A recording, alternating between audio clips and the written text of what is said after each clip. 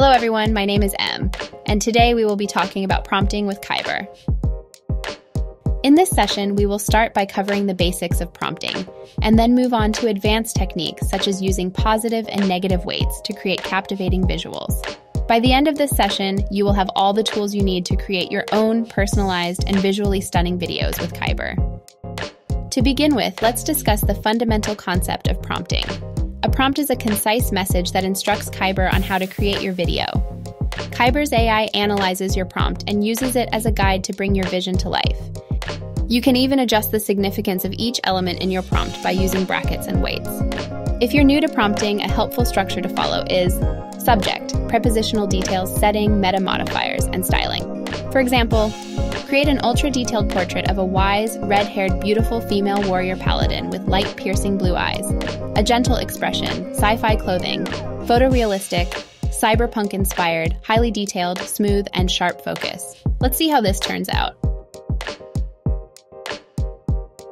Now that we have covered the basics, let's move on to more advanced techniques like positive and negative weights. When using positive weighting, it's recommended to use a number between 1 and 2, as this range has been found to work effectively in most cases. However, you can still use higher numbers if you wish to place even more emphasis on a specific prompt. To use positive weighting, simply add a colon and number at the end of the prompt and enclose both the prompt and weight in brackets. For example, let's add weight to our cyberpunk inspired prompt. By adding weight to this prompt, Kaiber places a greater emphasis on cyberpunk inspired, resulting in a video with a significantly enhanced cyberpunk aesthetic. On the other hand, negative weighting helps you to tell Kaiber which prompts to minimize in your video. To use negative weighting, add a colon and decimal number between 0 and 1 at the end of the prompt, and enclose both the prompt and weight in brackets.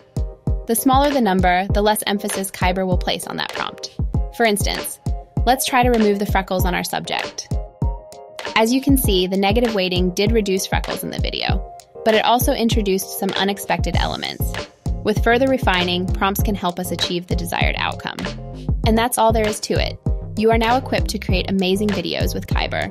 So go ahead, experiment, and have fun.